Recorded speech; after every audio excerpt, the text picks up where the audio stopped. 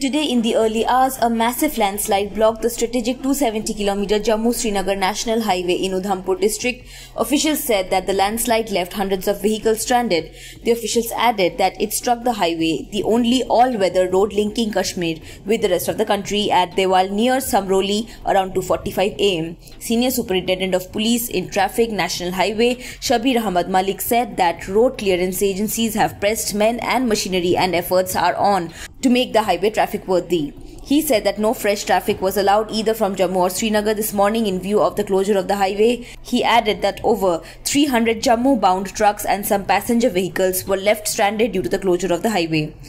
The officials said that the blocking of the highway also forced suspension of traffic on the Jammu Kishtwar Doda National Highway, which passes through Samroli as well. Hundreds of passenger vehicles which left for Srinagar and Chenab Valley region, including Doda and Kishtwar this morning, was stopped at several places, including Nagrota bypass and Narwal.